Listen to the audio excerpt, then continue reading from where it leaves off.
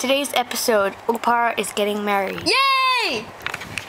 I'm gonna get married to a very famous rich person.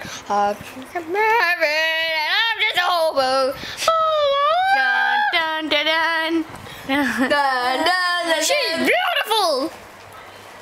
Okay, the jelly bean can will be pronouncing the man and wife today.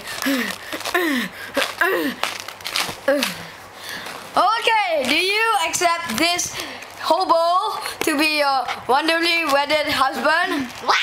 Oh, oh, oh, I mean, yeah, of course I do. Do you uh, want Opar to be your wife? Of course. Okay, wait, let me get the wedding rings. Let me get the wedding rings. Oh no, she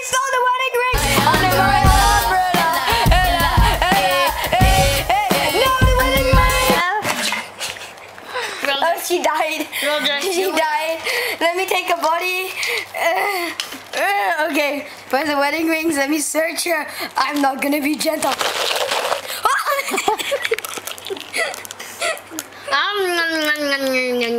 okay. Yummy, I found the wedding rings.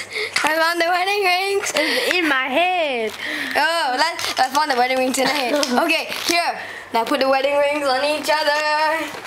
I'll put it on my shelf.